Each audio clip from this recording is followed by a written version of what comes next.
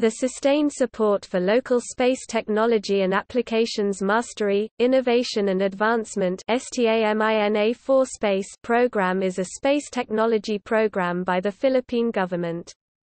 It is considered as the successor program to the Philippine Scientific Earth Observation Microsatellite PHL Microsat program, a cooperation between the Philippine government and Japanese universities to develop microsatellites.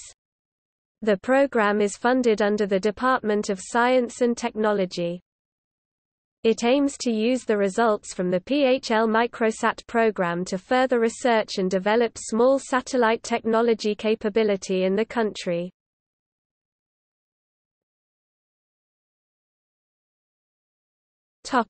Step Up project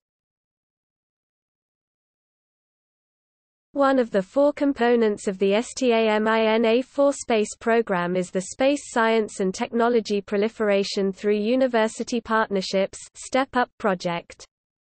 Under the program engineering students from the University of the Philippines who seeks to pursue a nanosatellite engineering track will learn how to build nanosatellites within the university's Diliman campus and have a CuBE satellite designed by themselves tested for space environment at the Kyushu Institute of Technology in Japan.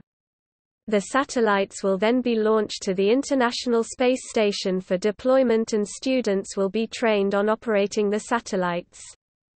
A university consortium on space science and technology applications is planned to be established within the STEP UP project and focus will be shifted to providing nanosatellite engineering scholarships and setting ground stations in within other universities in the country.